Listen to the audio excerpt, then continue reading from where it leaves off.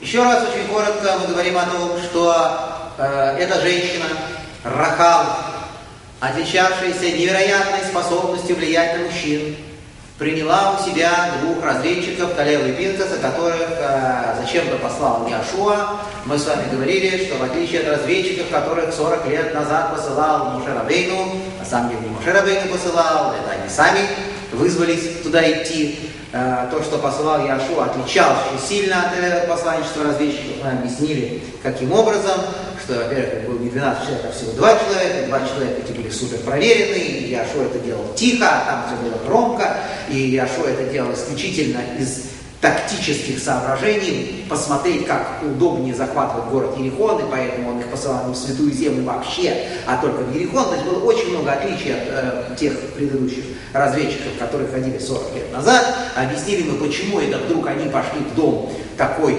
известнейшей женщины, которая, как мы не сказали это почему-то, я не знаю, собирался сказать, ей было 10 лет, когда евреи вышли из Египта. Есть 10 лет, с возраста 10 лет она начала заниматься этим ремеслом. То есть она очень быстро была такая созревшая девушка, и сначала, видимо, э, с определенной клиентурой, а потом уже все более расширяя клиентуру, она превратилась не просто э, в женщину легкого поведения, в блудницу, она превратилась в женщину, регулирующую политическую ситуацию в регионе, потому что э, только самый вид персоны, самого высокого звания люди приходили к ней, имели право к ней зайти. Еще очень важную вещь мы не сказали. Мы говорили о том, что она жила в стене города. Для чего это делалось?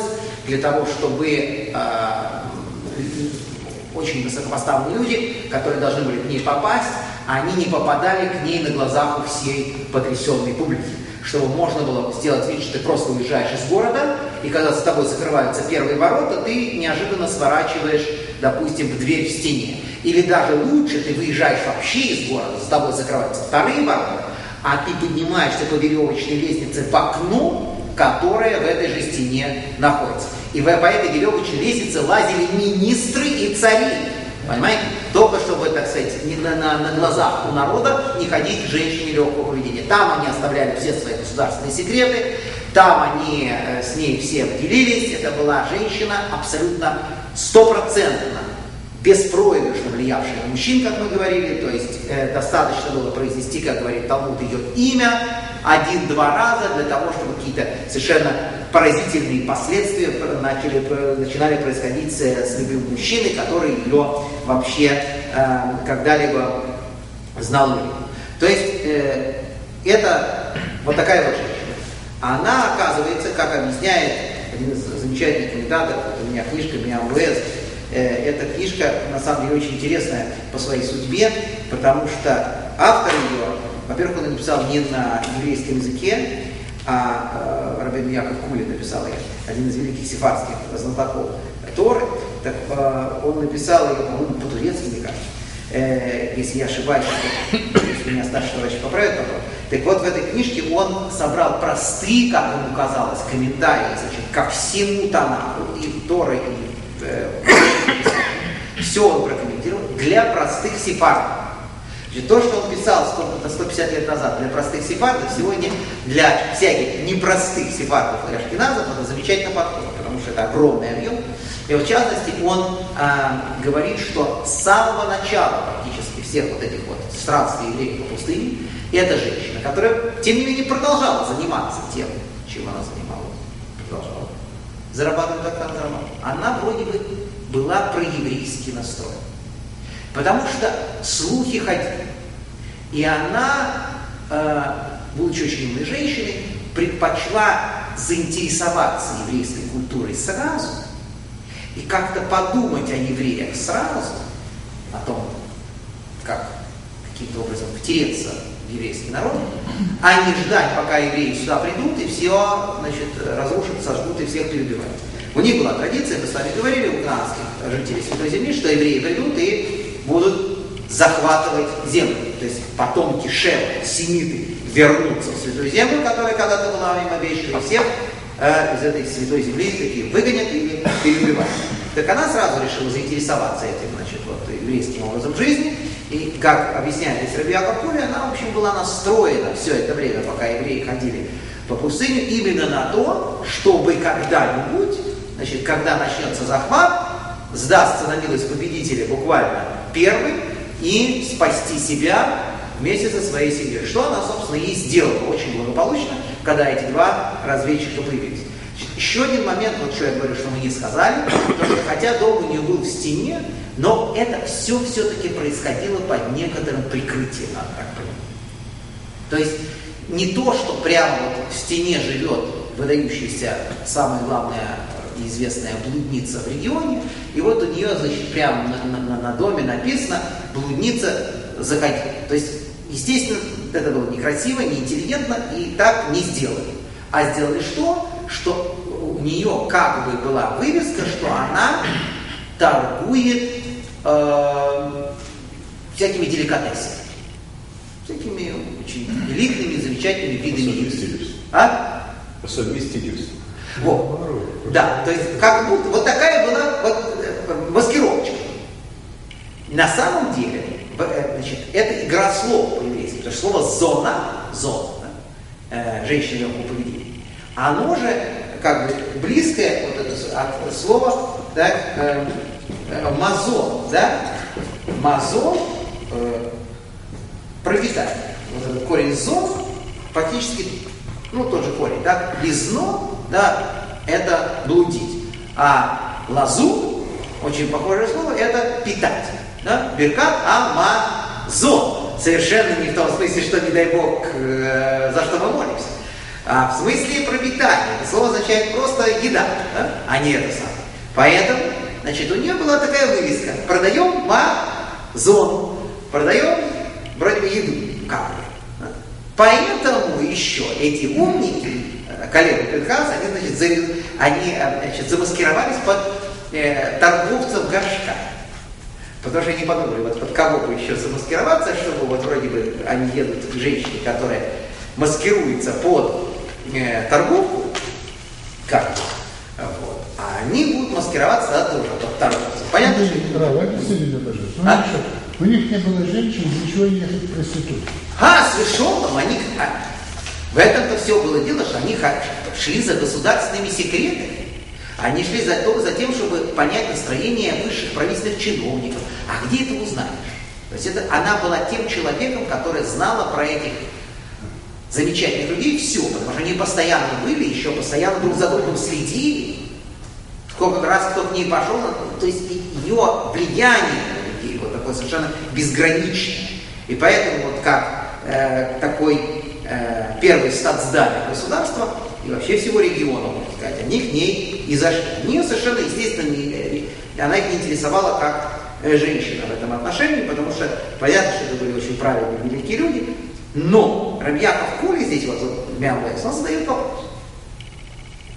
Такой вопрос несколько неожиданный по поводу Калева Пинхаса, потому что мы что объяснили? Что они пришли, они на нее смотрят, естественно, потому что правильно смотрят, с очень уважением к большим с ней разговаривают, что и вообще своим поведением они полностью перевернули ее представление о том, что такое вообще мужчины, потому что э, любой мужчина, он э, терял полностью самообладание в момент, когда только она э, значит, улыбалась или там награждала его своим взглядом, а эти вообще как бетонные какие-то, как сделаны совершенно не из человеческого мяса, то есть вот совершенно не, не реагировали, очень деликатно, очень вежливо с ней, так общались, все, вы спрашивали ее что-то. Так Рабьяков спрашивает, а как они сами, ну пусть они правильно но как они сами взяли на себя такую миссию, пойти к такой женщине и не испугались дурного начала.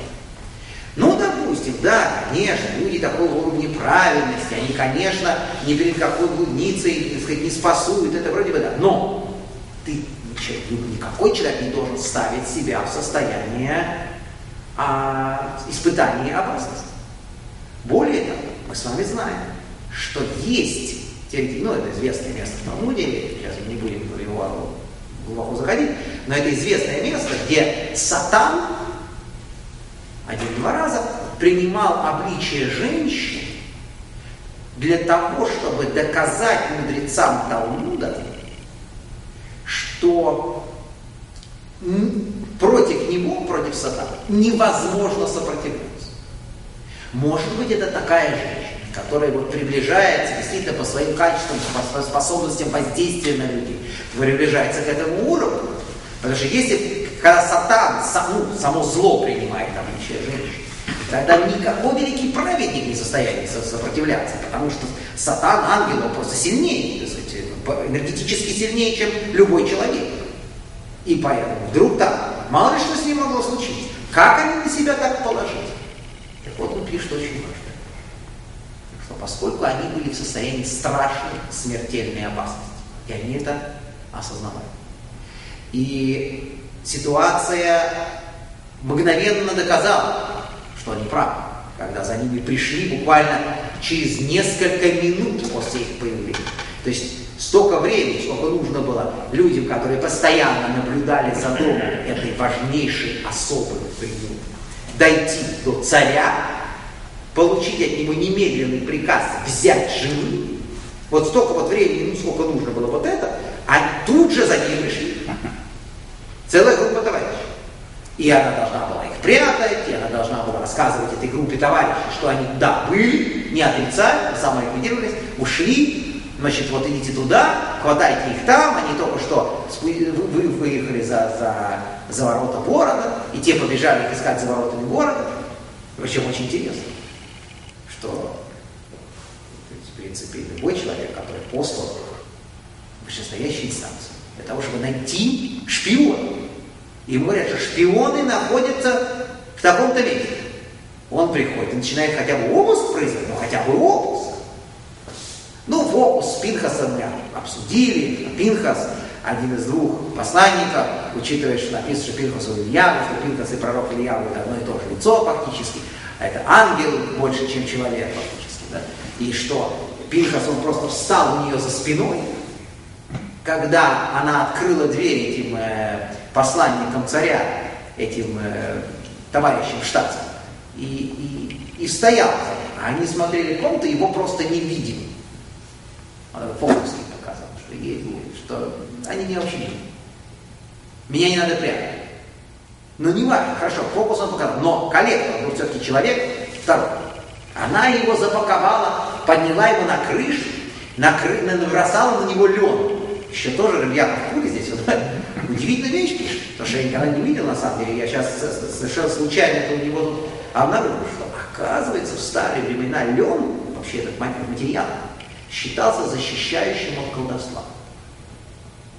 Простой, очень хороший, положительный материал, который защищает от колдовства. Для чего она его в этот лед кладет? На всякий случай, вдруг какой-нибудь чернокнижник с ними придет и будет нюхать. Есть тут человечий дух или нет?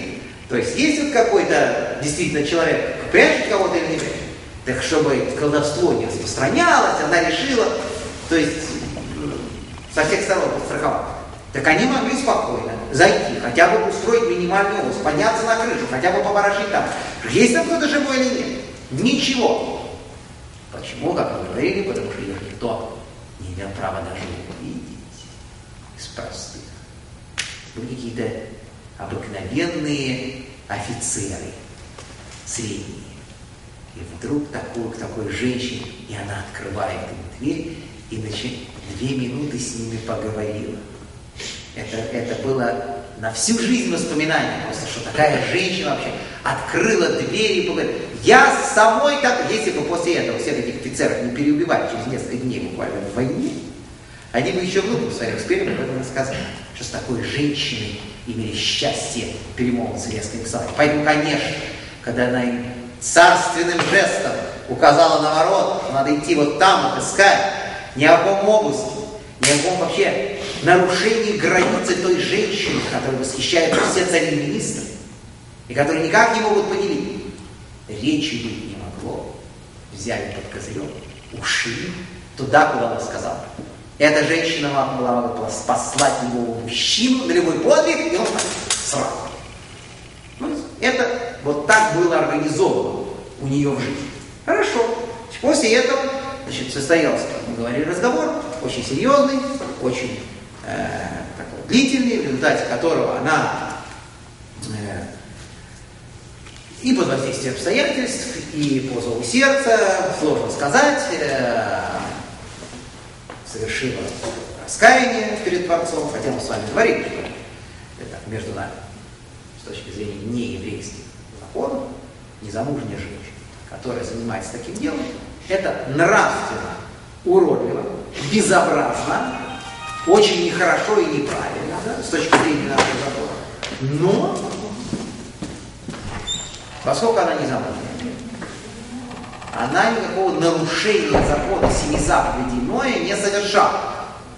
Хотя все очень красиво и плохо, конечно, все с точки зрения морали это омерзительно, разрушительно для общества и так далее и тому подобное. Но никакого нарушения закона в смысле разврата здесь для неевреев нет. Евреям это все, естественно, запрещается.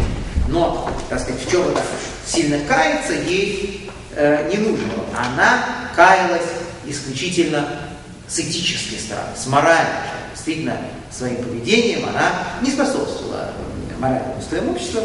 И вот э, теперь, когда она выгружала коллегу с Пиркусом в это же окошко, в которое к ней залезали обычно, и, ну и, собственно, вылезали все эти гости, она, значит, вот сильно переживала и просила Бога, чтобы то, что она спасла этих двух цадиков, и, значит, э, вот сейчас их выгружает э, на свободу, э, это было бы ей засчиталось против всего того, что она загружала в это окно и выгружала до, до чтобы как-то вот это ее значит, героический поступок ей как-то засчитался. Вообще, вы знаете, когда такого рода женщина, она еще при этом является сильно богобоязненной и мистически настроенной, это вообще беда, то есть у нее постоянно скачет мозг с одной стороны в другую, она очень быстро э, перестроилась, очень быстро перестроилась, но во всяком случае мы еще понимаем, что э, жизнь ее заставила это сделать, вот-вот должны были прийти а, еврейские войска и перебивать всех. Она, значит,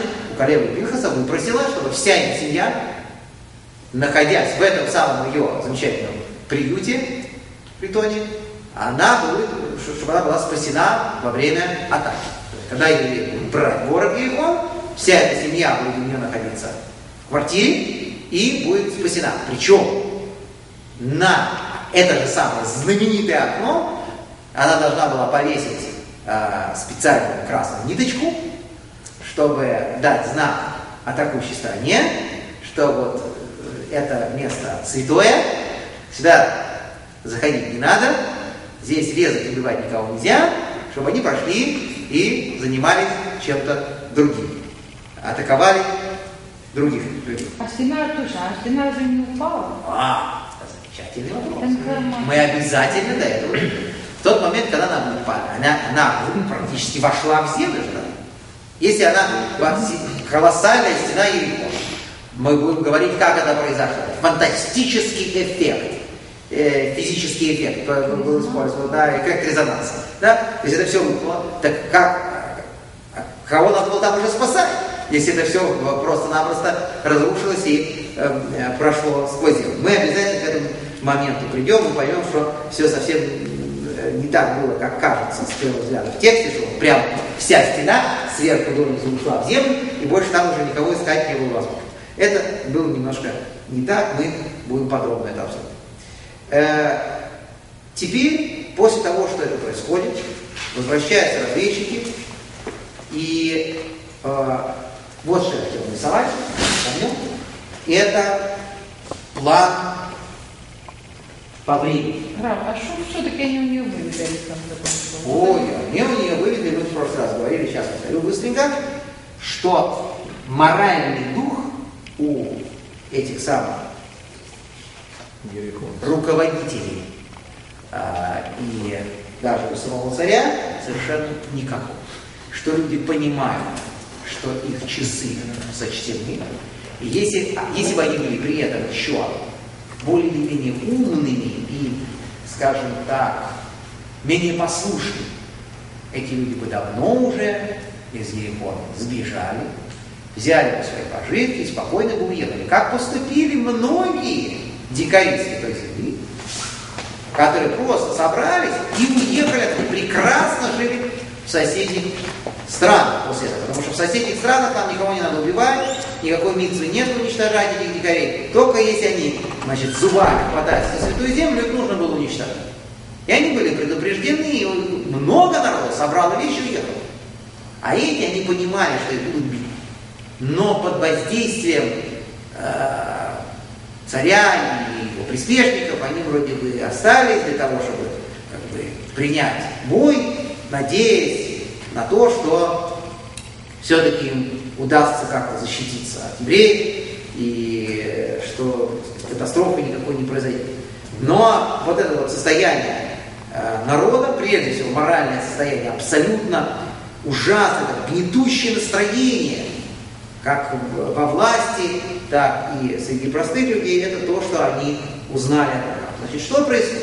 Как? А? Почему Пинхас, так сказать, как мавритянскую царицу, так сказать, так прикончил, а здесь, так сказать, девушку даже, даже, даже так сказать, испуг... И не убил, да. Почему? Потому что она... Даже пошел к ней, вообще-то его тоже надо было закричить. У них, они были два еврея, два кошерных человека. В черте города они не нарушают запрет уединяться э, с ней. Да, и, э, кстати говоря, мы эту мысль э, не договорили, почему они положились действительно на то, что они могут справиться со всеми своими дурными началами рядом с такой потрясающей, невероятной женщиной, а потому что вот они были в состоянии опасности. Оказывается, в состоянии смертельной опасности, написано в разных местах, э, можно вспомнить хотя бы одно в Талмуде, в состоянии смертельной опасности у человека вот эти вот дурные начала, они работают гораздо слабее, потому что страх смерти перекрывает вот это вот желание поразлить. То есть, когда ты реально находишься одной ногой в могиле, тебе не до развлечений. Ничего подобного. Ну, я... Все Это из своего опыта? Э, все надо, абсолютно, все надо, гарантирую.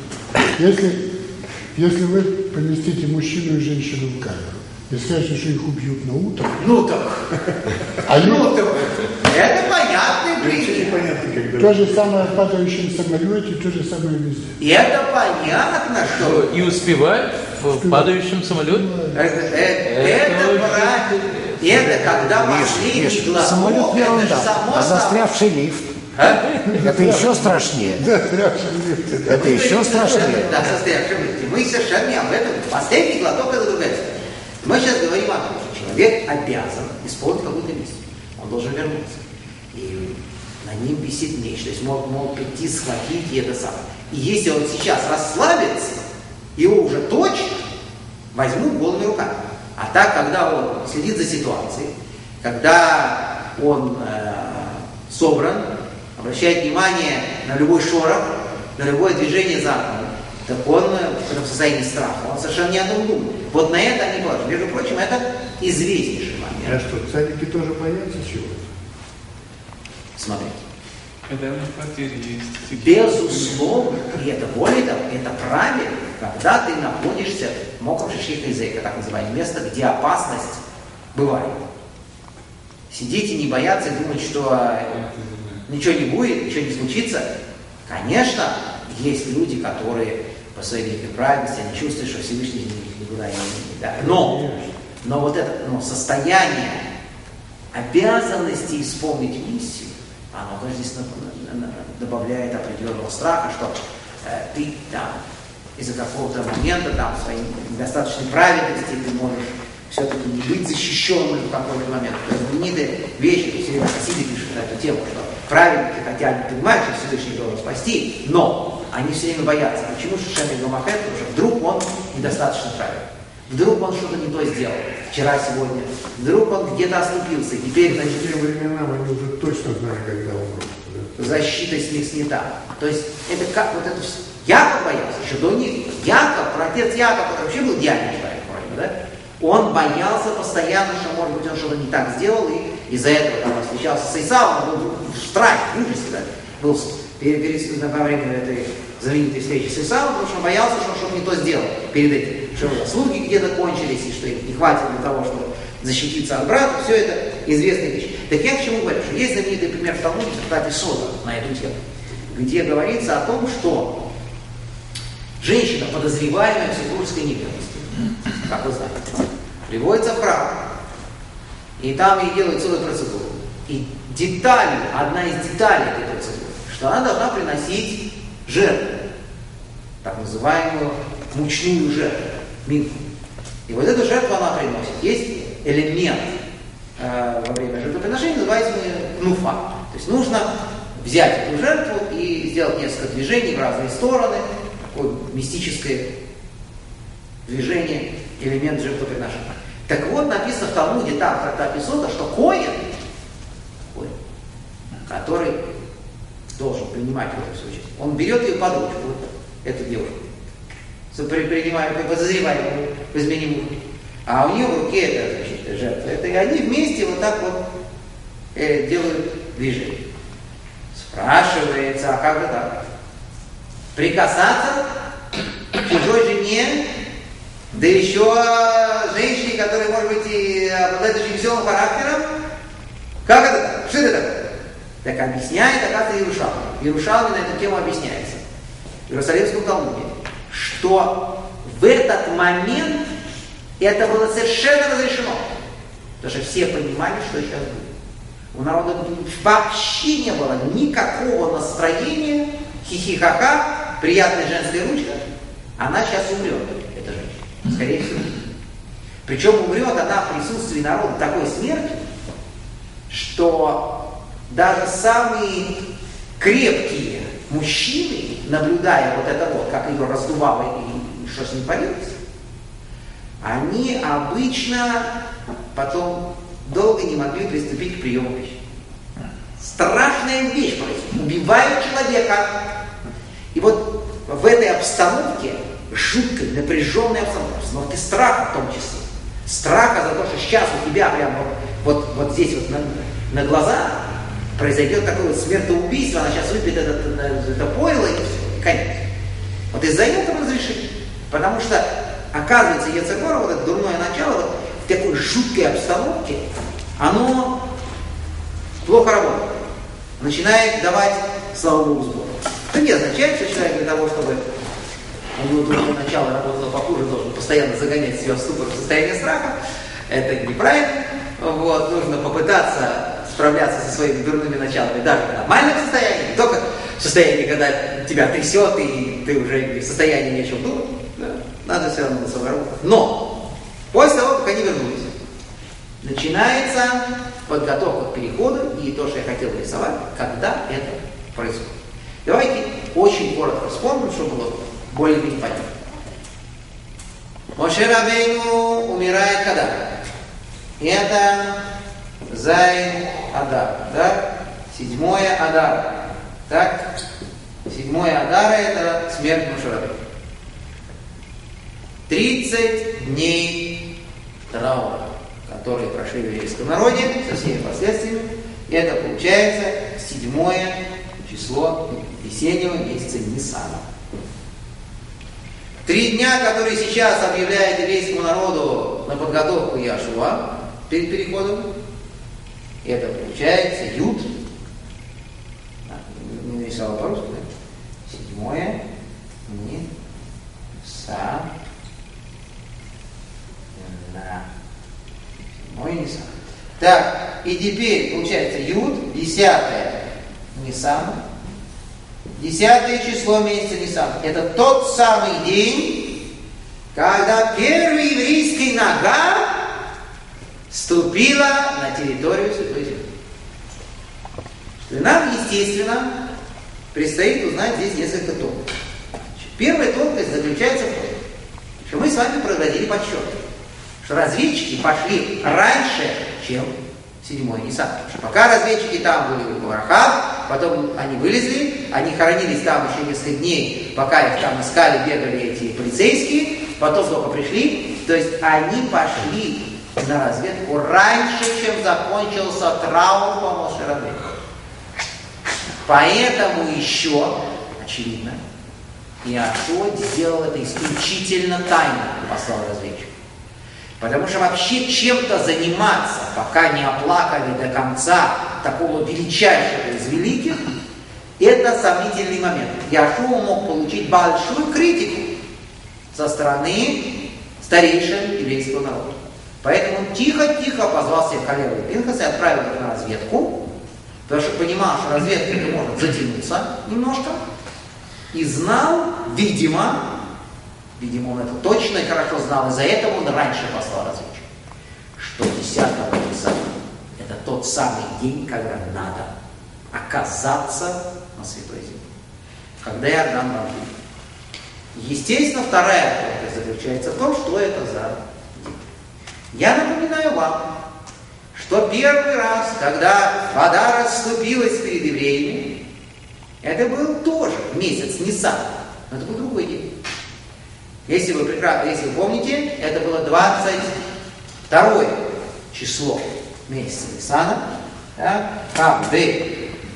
Нисан, 22 число, прям напишем. 22 Нисан. Когда рассечение Красного моря было произведено. Ну, вопрос, а почему не подгадали на 22 число? Почему уже раз там один раз вода разошлась, почему не сделать, чтобы вода там разошлась второй раз? Такого вопроса, в принципе, особо нет, потому что торопиться было, забыл выключить звук, совершенно некуда, на самом деле. Э, но, с другой стороны, э, и затягивать с телефоном Иордан ни в коем случае было нельзя. Да? Потому что 30 дней прошло, 3 дня на подготовку, когда там еще дается, туда-сюда, и куда еще. Но день все равно очень особенный. Конечно, то, что все вот так сошлось, что еврейский народ оказался на Святой Земле именно в этот день календаря, это очень-очень важно и надо это хорошо понять. Вы знаете, что в этот день начались дни подготовки к пасхальному жертвоприношению в Египте. Это были последние дни, когда э, произошло так называемое чудо Великой Субботы, о котором сейчас вам напомню. Именно в этот день 10 Ниссана это, это случилось. То есть 10 Ниссана, 40 лет до этого момента. То есть до 10 Ниссана, после которого сразу евреи вышли, это был день, когда взяли барана, привязали его, чтобы он жирел несколько дней, окармливали его, и египтянам нагло сообщали, что вот это вот животное, которое одно из ваших божеств, мы его зарежем. И египтяне ничего не могут сделать. То есть вот, вот это вот демарш против египетской идеологии, которая называется чудом. Почему? Потому что египтяне никак не могли не реагировать. Никто, ни, ни одного еврейского погрома, даже, даже по морде ни одного еврея не съездили. За такой демарш против египетской идеологии. Это произошло 10 числа, это называется Шаббат Агадоль, Великая Суббота. Поэтому она великая, последняя суббота перед Песом. Замечательно, что переход Иордана опять попадает на этот день. День, когда фактически исход из Египта начался. Тогда, когда еврейский народ осознал себя смелым и отдельным от своих прародителей. Вот этот вот момент, он оказался, может быть, самым решающим, когда еврею нужно было выбрать, где он и с кем он. Потому что, как мы с вами знаем, до последнего момента у евреев дома стояли египетские идолы перед исходом. И нужно было буквально вот, вот оттаскивать за уши от этих египетских идолов и затаскивать в иудаизм. И это было сделано вот именно в этот день, когда произошел вот этот вот сдвиг сознания, прежде всего, и было объявлено, что египетское идолопоклонство, в котором мы существовали, и которым, к сожалению, многие из нас занимались, это чуждая идеология, мы это зарежем и съедим. Вместо того, чтобы к этому относиться с неким благоговением. И понятно, что этот день, он имел очень важную а, такую особую силу для того, чтобы помочь евреям прийти. Как все было организовано. Удивительную вещь объясняет Мидраж по поводу этого перехода. Нам, конечно, нужно будет хорошо понять, чем разница между этими чудесами? Почему везде на всех углах трубят о рассечении Красного моря, о том, что разошлось море еврейский народ? А здесь что? Ну, некоторые думают, что Иордан, он маленький. Поэтому то, что его рассекли, и то, что евреи пошли по посту, ну что там? Иордан же, мы сейчас знаем, какой он, Иордан. Он очень узкий. И даже там, вон внизу, на, на- вот рядом с э, этим Мертвым морем, он тоже не, не, не- это, это- это не Днепр. Да, середина которого летит редкая птица. Это небольшая речка. Поэтому, ну что-то, Красное море, я понимаю. А это что такое? Канал. Ничего страшного. Не особо никакое особое чудо. На самом деле не так. Потому что объясняет Медраж. И это, в общем, ясно видно из способов, что ширина Иордана тогда в, в, в низовье, недалеко от Мертвого моря, где они приходили напротив Ерихона, была очень большой. Он тогда был гораздо шире, чем нынче. То есть, может быть, он и не был как Днепр или Волга, но это была очень широкая река. Поэтому дело совершенно не в том, что э, еврейский народ переходил через какую-то канавку, они перепрыгнули через Иордан, и, в общем, никаких проблем. Это была действительно великая процедура. Но почему-то рассечение Красного моря – это великое чудо, о котором знают все, а рассечение Иордана – это какой-то момент, который, так сказать, остается в тени. В чем здесь дело? Вопрос, на который мы должны в конце концов ответить. Потрясающая вещь, о которой я говорю, это как было организовано. То есть кто за кем шел. Творец обратился к Яшуа и сказал ему, что ты должен поставить впереди Арон. Ты должен поставить впереди ковчег. Это был очень особенный, совершенно отличающийся от всех переходов в пустыне переход. Во-первых, потому что ковчег несли не левиты. Это был редчайший случай. Случаев этих три или четыре. Сейчас мы с вами помним этих случаев. Когда ковчег несли коины сами. Коины носили, был что поносить обычно. Потому что там куча всяких э, вещей, которые носили на себе э, Лазар, Тамар, э, священники еврейского народа и дети. Э, то есть они не ходили пустыми. Но здесь левиты были отстранены, те левиты семьи Гата, родственники Моше, которые должны были нести на себе ковчег, они его не несли, его несли коин. Когда еще такое было? А еще такое было, оказывается, в всего трех случаях. Последний раз это было тогда, когда ковчег заносили в святую святых, в храм, построенный царем Соломоном. Туда, оказывается, его заносили не левиты, а. И этот случай, объясняет Радак, почему-то не считается. То есть среди тех случаев, которые перечисляются, где коины, коины носили ковчег, этот случай, когда они его заносили в святую святых, почему-то не фигурирует. Видимо, говорит Радар, потому что они его занесли туда уже, и больше никто его не носил после этого никуда. И это вот четвертый, последний случай. Между этим первым, когда несли Иордану, были еще два. Первый, это буквально через несколько дней, когда коины носили ковчег вокруг Иерихона. Вы знаете, вся эта история с трубами, будем это все разбирать. Когда ходили вокруг Иерихона, носили ковчег, это носили коины не люди. И, наконец, когда ковчег во времена царя Давида возвращался домой, он попал в плен палестинцев, как вы знаете, в Палестине, и потом возвращался домой ковчег, так его тоже заносили домой обратно к царю Давиду, в Сион, коин. Как связаны эти случаи? Почему именно в эти моменты, причем выделяются первые три, дойти до Иордана, обойти Ерихон и вернуть от палестинцев? Почему вот эти три случая, когда коин Как эти три случая связаны? Мы сразу видим с вами, что все эти три элемента касаются войны с врагами. То есть форсирование Иордана фактически это начало войны. Объявление войны начало.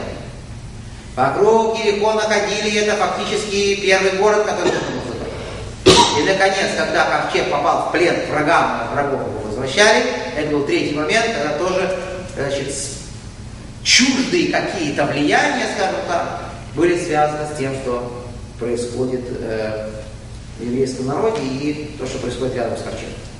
Так или иначе, здесь есть странная фраза. Во-первых, написано, что расстояние между ковчегом, который идет впереди, и еврейским народом, который идет позади, должно быть 2000 локтей. Не больше точно. Но ковчег должен идти впереди. Ну, вы знаете, организовано было следующим образом, как только коины с ковчегом вступили в Иордан, буквально их ноги погрузились в воду, вот тут произошло, Иордан расступился. Что значит расступился? Он расступился совершенно не так, как Красное море. Чудо было совершенно другим. И сразу хочу сказать об этой технологии. Потому что потом мы будем возвращаться, как мы будем пытаться понять, что происходит. Значит, Красное море написано моими лайками, видами, словам, вода справа и слева, как стена. То есть оно реально действительно разошло. Мы говорили, как, что там был некий смерч, который начался с одного моря, как объясняет м, Клеопа, в Венесуэле Ефраиме, потом он а, разорвал, разорвалась поверхность воды. Все это мы обсуждали. Но, так или иначе, образовалась воронка внутри. С рекой была совершенно другая история. Говорит прямо книга, и вешу, прямо написано, ничего не нужно выучивать из Талмуда, ничего. Все прямо написано. Что далеко вверх по течению, вверх по течению, произошел коллапс. Какой? Вода оторвалась, какая часть воды оторвалась, и остальное застыло. То есть вот та часть, которая течет сверху, она застыла, а та часть, которая потекла дальше, она потекла и вытекла вся.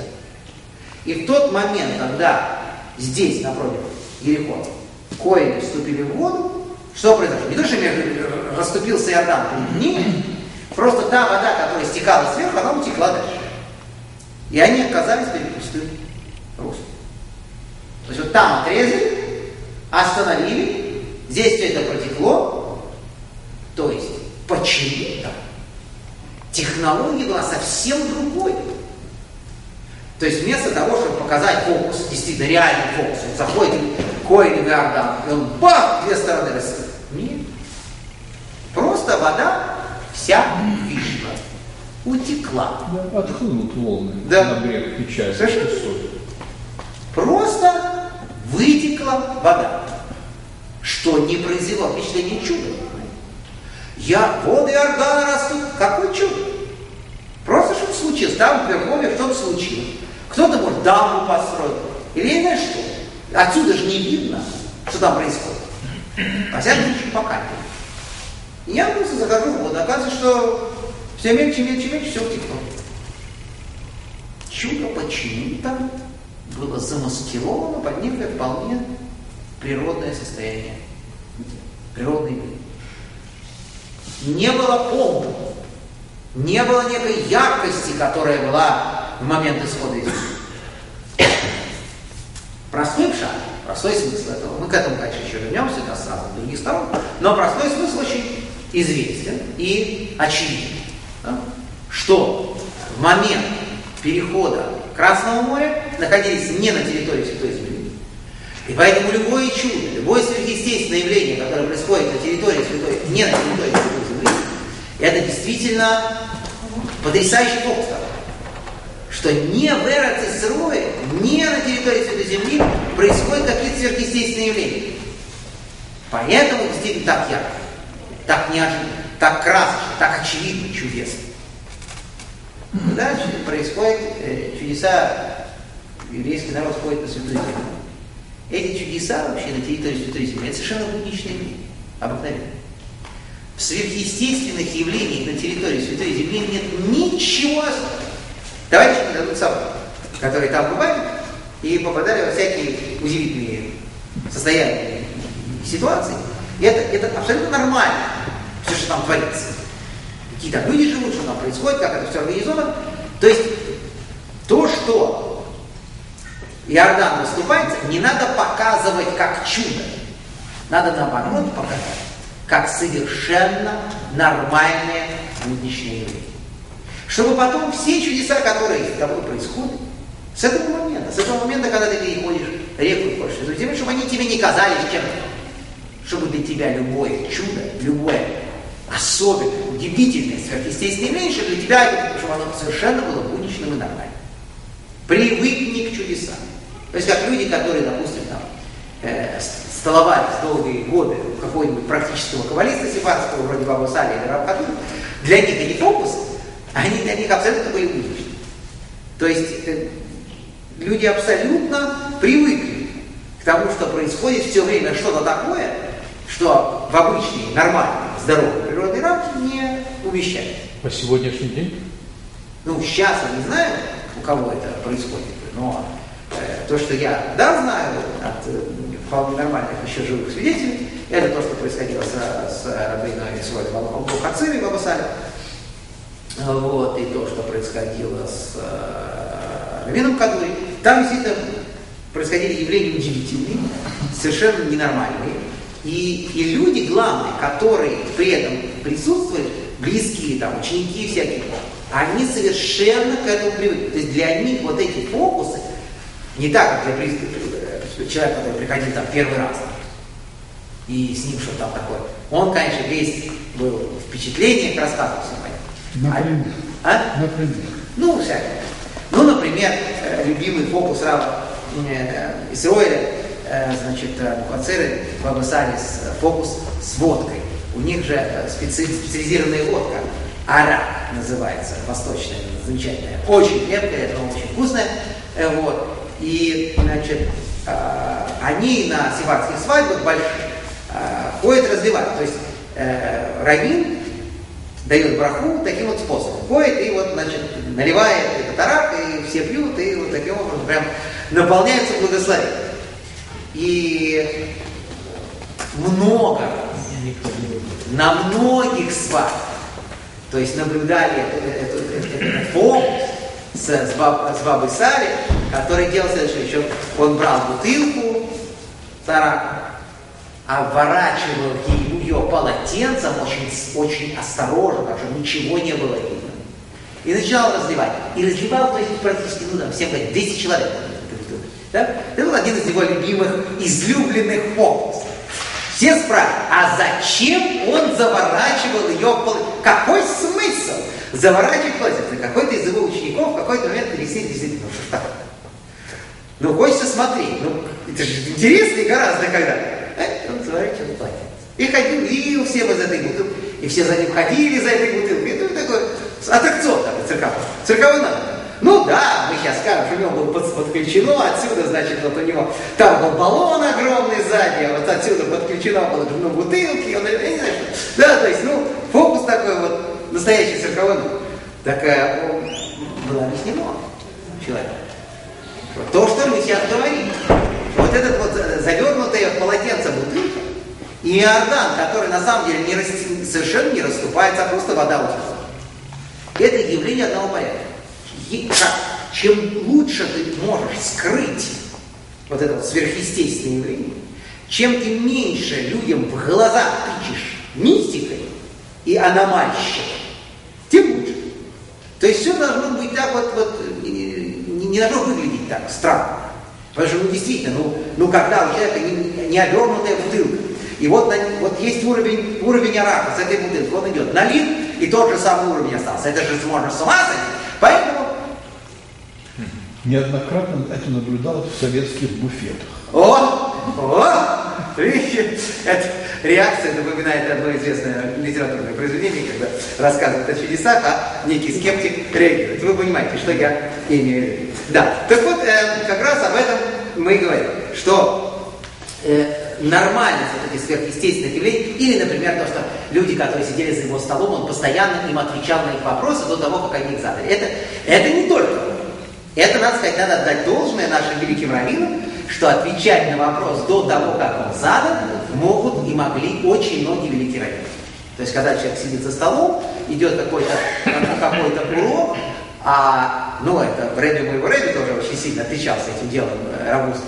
То есть э, мой Рэби мне рассказывал все время, что когда он сидел, он пытался все время что-то спросить. Например, когда идет какой-то сложный талмудический урок, и азе, а это, то есть, что- хотел сказать, что это не соответствует такому-то месту в Тосисе. В таком-то трактате, там где-то а, только открыл рот, про это Тосис мы поговорим позже, про это место мы будем говорить еще, еще пять минут, подожди. То есть вот такие. Но это у талмудистов это еще можно понять, потому что он понимает логику, как идет, он понимает, что в голове у какого ученика может э, выпрыгнуть из головы, это, да, но вот эти вот моменты с каббалистами, это очень смешная такая ситуация, когда он действительно э, сидит за столом, и толпа людей, и вот, вот он просто вот начинает им отвечать на вопросы до того, как эти вопросы поступили. Я знаю, что у многих из них сначала это вызывало прям очень нервное состояние. То есть прям я сам испытал на себе однажды, когда впервые, впервые встретился с настоящим э, таким мистиком, профессионалом, который э, вот э, ничего о нем не знаю, точно определил, я потом рассказал, не знаю, точно определил какую-то одну митцву, одну заповедь, которую я очень часто делал тогда, не получалось у меня полностью делать. Ну, сверхзавод, счет, счет Помера, 50 дней посчитать от Песха до Шивота. Очень часто да, бывало так, что в какой-то там тяжелейшем состоянии я приходил с работы, забывал там что-то, пропускал один день, а там нельзя пропустить один день. Он вообще не мог ничего об этом знать. Ни от кого. Потому что я никому этого никогда не рассказывал. Что еще не хватало, чтобы я рассказывал, что я ошибки какие-то там делал. Это было много лет. Вот. Сейчас, после того, как мы, вот он этот э, урок провел, все. Я как зазомбированный. 1, 2, 3, 4, 5, где-то 50. То есть все, уже ошибка. Но тогда это был просто удар. Он рассказывает про эту заповедь, упомянул ее просто вот среди прочих в своем уроке по Кабале. Такой скромный очень он делал урок, не очень сложный, но очень интересный каббалистический такой урок. Его спросили, что ты яблоки раздаешь на субботний праздник? А у него такой замечательный яблочко. Берет яблоко и вот начинает резать, и каждому присутств- присутствующих отдает это. И мы начали, что, что яблоко? И он про эти яблоки, и про, эти, про три цвета, которые с яблоками, про три качества, и пошел, пошел, пошел. И в том числе говорит, что вот эти вот 50 дней их надо обязательно посчитать с начала до конца. Он говорит, я сейчас скажу такую вещь, чтобы только наш уважаемый, ну, я его же перевожу, кстати, чтобы наш уважаемый, значит, такой-то, чтобы он не, сильно огорчился на эту тему. Он говорит по-еврейски. Я совершенно не обязан это переводить. Он мне говорит так, значит, чтобы только он не испугался. Но один день, который пропущен, и я, у меня было очень неприятное состояние после. Очень неприятное. Потому что я, мы выехали в пансионат под Москвой, я пришел в номер, и у меня было такое впечатление, что меня просто снимают. То есть очень не- не- не-. То есть как будто тебя снимают на камеру, видите, вот тебя абсолютно видно везде. На тебя смотрит, старший брат смотрит. Очень неприятное ощущение. Но потом привыкают. Потому что есть эти люди, что-то э, что, что ты можешь с этим сделать. Это бесполезный разговор. Все равно видит и значит нет. То есть это вот такой вот очень важный момент, который касается рассечения Иордана. Потому что для Эра Цицероя, для Святой Земли, как сказано, для определенного уровня святости, чудо – это совершенно нормальное явление. Более того, если жизнь человека на Святой Земле не сопровождается какими-то удивительными явлениями, это неправильно. То есть мы здесь, мы просто, вот, мы, мы боимся, мы не понимаем, что происходит, потому что это, это доходит до, как нам кажется, полного безумия. Понимаете? Вот я звонил человеку, у него жена рожает. Рожает в самой религиозной больнице. Из всех религиозных больниц в городе Иерусалиме. Я ему звоню. Ну что у тебя? Принимаю роды. Говорю, что? Му- муж. Вы принимаете? Как принимаете? Ты же она в больнице. Да, она в больнице. Но никого же нет. Я говорю, как нет? Это же религиозная больница. Да, ничего страшного. Они говорят, что с Божьей помощью все будет надо. Даже религиозные врачи.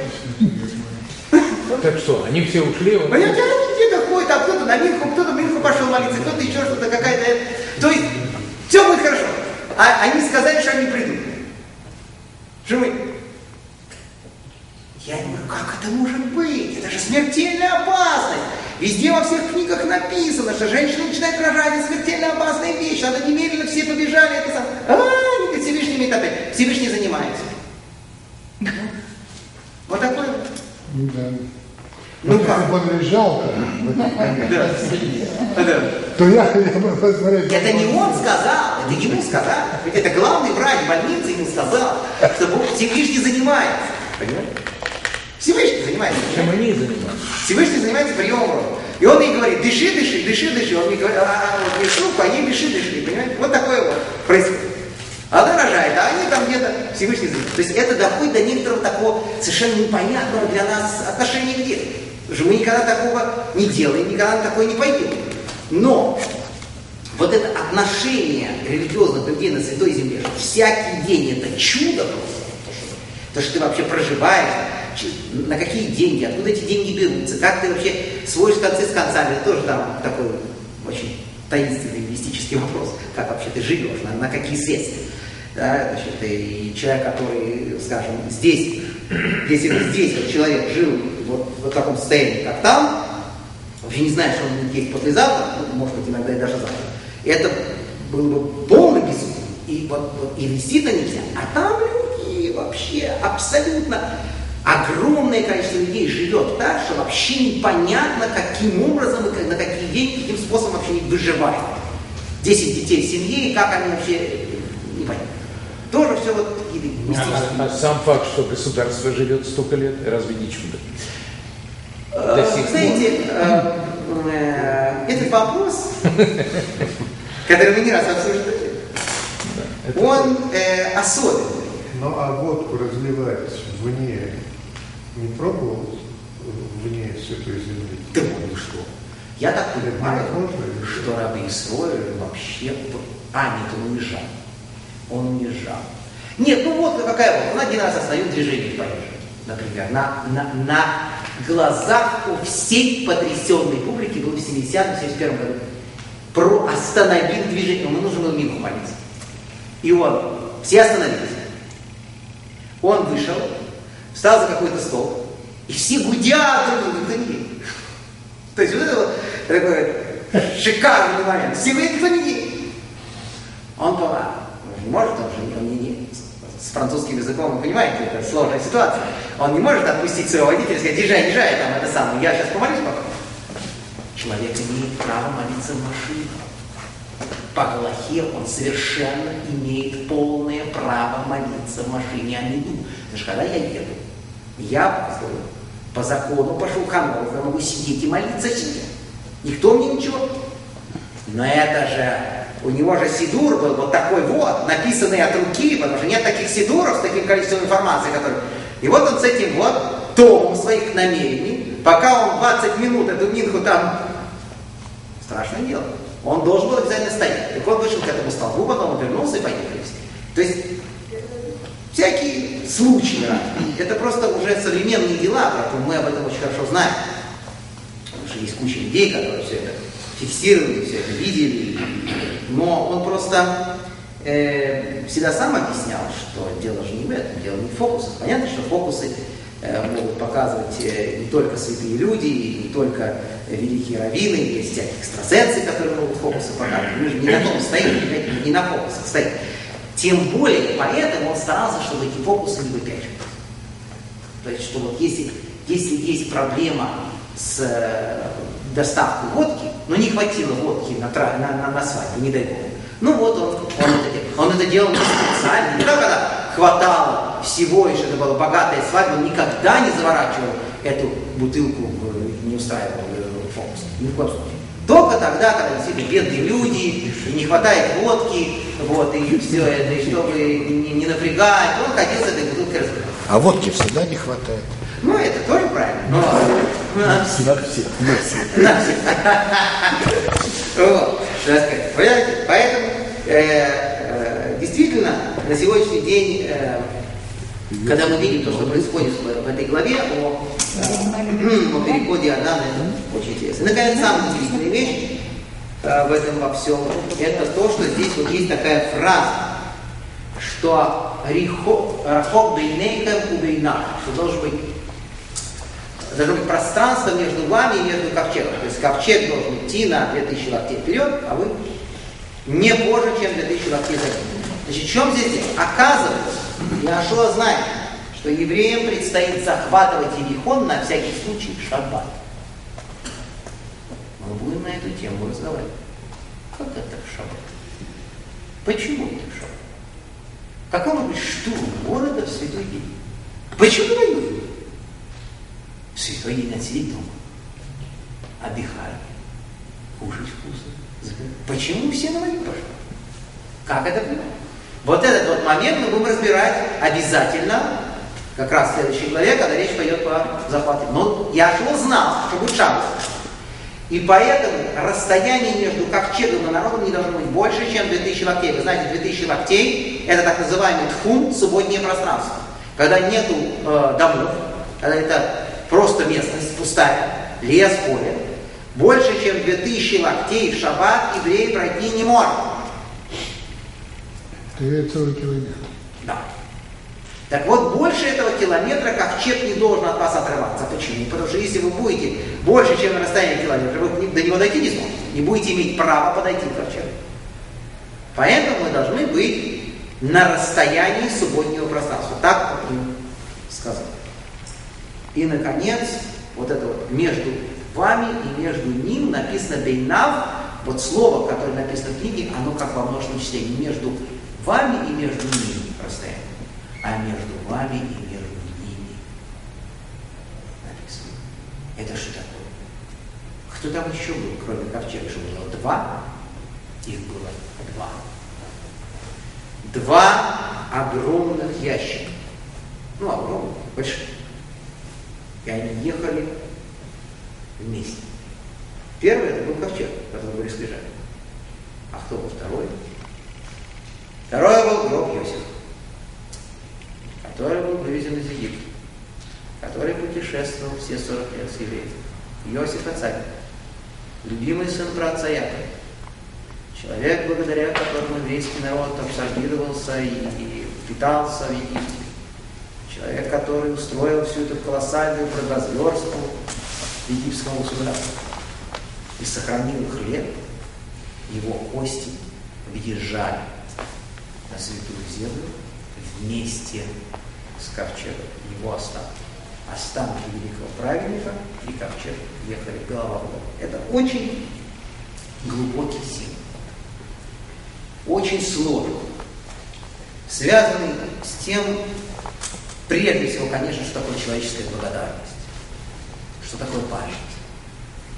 Когда ты понимаешь, что за тобой стоят поколение людей, обязаны кому-то за что? Обязаны своей жизнью сам. И вот тот человек, благодаря которому еврейский народ смог выжить, то есть фактически семья Якова смогла выжить во время страшного голода, Иосиф, который всех кормил, все организовал. Он был, его останки, это было первое, что пришло к Иордану.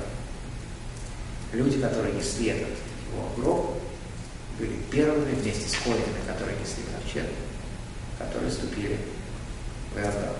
Но это же тело или кость, это не душа. Да, Так все это она тоже сохраняет что Вы нас убеждали, что это просто Ой, нет, нет, я не убеждал, что это просто. Нет. Во-первых, мы с вами знаем, что первые годы это вот точно. Первый год, пока потихонечку отходит от тела эта история. Но, Ну, здесь, здесь-то уже намного больше стали. да, но здесь ситуация эксклюзивная. Кости не лежат в земле, нет. Они в движении. То есть до какой-то степени можно сказать. Я, вы знаете, за что купил, за то я к Кабале имею очень опосредованное отношение, практически никакого. Поэтому так просто рассказываю, что слышал. Что душа человека успокаивается, и кости лишаются связи с ними практически всей, это тогда, когда останки находятся в одном месте, в земле, лежат и все. То есть их положили и все. Тогда, когда их никто никогда никуда не клал. А они были специально, еще самим Иосифом, приговорил, он сам просил, заклял евреев, чтобы его взяли с собой. Так это, можно сказать, что ему душа до последнего момента, пока в Шхеме, там, на территории Святой Земли, где он ему был обещан, его не похоронит, его душа до какой-то степени сохраняла естественную связь, потому что потому не могла, как бы, в кавычках, не могла успокоиться.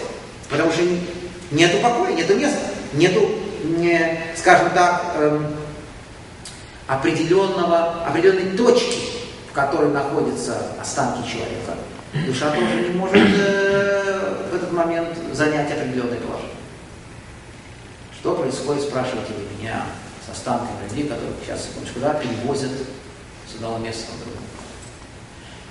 Мы с вами говорили, что это огромное нарушение закона. Во всех случаях, кроме очень редких. Остатки ни в коем случае нельзя тревожить именно по этой причине. Потому что вроде бы уже все успокоилось, заняло свои места, вдруг раз начали делать.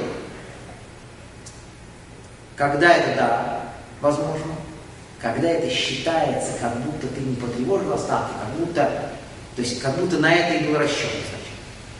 Тогда, когда это переносится в фамильный склеп, в фамильный надел, из какого-то чуждого, например, случайно пришлось похоронить на дороге, или где-нибудь на нееврейском кладбище, и потом переносят туда, где вот рядом с могилой там жены или мужа положить. Это допустимо. Все зависит от обстоятельств. Я не даю никакой практической галахи сейчас, да, это должно быть понятно. Практическую галаху мы спрашиваем тогда, когда приходит практические ситуации. Я говорю теоретически. И, конечно, РЦС. Перенос останков в святую землю, это, конечно, тоже вещь, которая стоит того, чтобы это сделать, потревожить, потому что нахождение, само состояние человеческих останков вне Святой Земли и внутри Святой Земли это совершенно разные состояния, и в том числе для души тоже. То есть тогда, когда тревожат останков для того, чтобы перенести их на Святую Землю, это нельзя, нельзя сказать, что это митцва, нет такой митцвы, но это очень помогает человеческой душе. Очень возвышает. Вы хотите все спросить, пожалуйста? Да, я хотел спросить. Он же был, безусловно, цадиком, правильно? Ну да. До каких костях вы говорите? Он не должен был разложиться.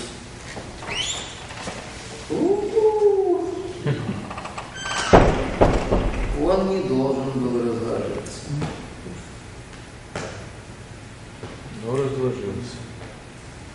Первое. Понятно, что никто покров не вскрывал. Естественно.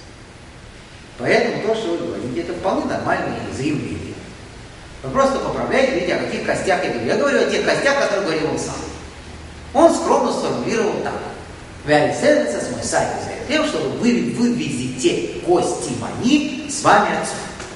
То есть он говорил о себе скромно, что он себя большим царем чистил, не считал, и вот он сказал, что ну, вы мои кости заберите с собой. Поэтому мы все говорим от самой сердца, кости и все. Что там внутри лежало в гробу, было свеженький, молодой, как обычно, или, не дай бог, нет, мы, естественно, не определяем. То есть это закрытый гроб, который, как вы знаете, с трудом нашел мой Шарабек в Египте, Моисей его искал, нашел, в закрытом же состоянии взял, погрузил, и в закрытом состоянии его похоронили. Возили, возили куда. А, А, это... в, в Египте он тоже не был э, предан земле? В Египте он был в этом гробе. И, значит, есть две версии Мидраша. Основная и более известная версия, я почему не приводил, говорит о том, что он был утоплен в Ниле вместе с гробом. То есть закрытый гроб был положен на дно реки для того, чтобы из его, из бедного Иосифа, не устроили идолопоклонство. Чтобы из него идола не сделали, египтяне, которые, которые вообще почитали его чуть ли не неизвестно за что, за кого принимали, так сказать, чтобы его не канонизировали местные товарищи, его спрятали просто значит, коллектив старейшин, его братья, они его тело просто спрятали. И когда Маше пришел искать, Он подошел к Нилу, как известно, с этим кубком, знаменитым кубком Иосифа, вынул одну из пластинок из этого кубка, там было четыре пластинки с изображениями четырех животных, изображение быка, потому что Иосиф называется шор, бык, э, животное, которое как бы, ассоциируется с, огромной силой, пробивной силой. Да? Так вот, эту пластинку с изображением быка он бросил в Нил и повторил с другими огласовками, переначал слова Якова, которые были сказаны э, о Иосифе, чтобы оно целое Шур. Яков сказал, что девушки смотрели на стенах, то есть Яков сказал, что вспоминая о Иосифе, э, благословляя Иосифа, он говорил, что девушки карабкались на стены, чтобы только его увидеть. Такой был красавец, известный. А он сказал не алей шур на стене, а он сказал алей шор, поднимись бык. Пишется абсолютно так. Шифр, который Яков засунул в эту фразу про девушку. Поднимись бык. Шор это бык? Бык. Шур – это стена, шор – бык, да? Бросил пластинку, и гроб всплыл. Причем он не просто бросил пластинку, он заклял останки Иосифа. Он сказал, что если ты идешь с нами, я тебя забираю. Если ты не идешь, у меня нет времени тебя искать, мы уезжаем. И мы свободны от твоего заклятия. И, значит, таким образом всплыл этот гроб, он его забрал. То есть это основная лекция. И никогда он не был. То есть он лежал в этом гробу, потом его забрали, возили 40 лет, и после этого, значит, похоронили на территории Святой Земли. Сама эта метафора, надо на ней очень хорошо подумать, почитать, что написано. То, что вот так вот заезжал еврейский народ в Святую Землю. Ковчег и останки правил. Ковчег и гроб. Они вдвоем были рядом и заезжали. Тот ковчег, который, конечно, как, как вы понимаете, никогда Иосиф в своей жизни не видел. А как же можно было пускать вперед ковчег к варварам на территорию, ожидая, что они будут воевать, они могут его отобрать? Нет, нет, это мы обсудим сейчас. Не, он не шел вперед. Он, они зашли в Иордан, да, и в этот момент Иордан расступился. Там же было еще 12 человек. То есть, ну, мы еще чуть-чуть э, подробнее технологию эту распишем следующий. А сколько их было в этот момент? А? Сколько было? Ну, примерно столько же. Сколько, сколько вышло? Сколько, сколько, да. Потому что там Умерло. была эпидемия, там умирали, 24 тысячи человек тогда умерло, Шитин, потом еще сколько-то. Потом э, погибли во время восстания Ну, Пороха. по 10 детей было каждого. Куча народа погибла во время восстания Пороха. То есть очень много народу по- погибло, очень много. То есть э, э, были Магифа, был, был мор в момент Золотого Тельца. То есть много было случаев, когда За 40 лет у них не увеличилось число населения? практически совсем нет. Более того, очень много же умерло.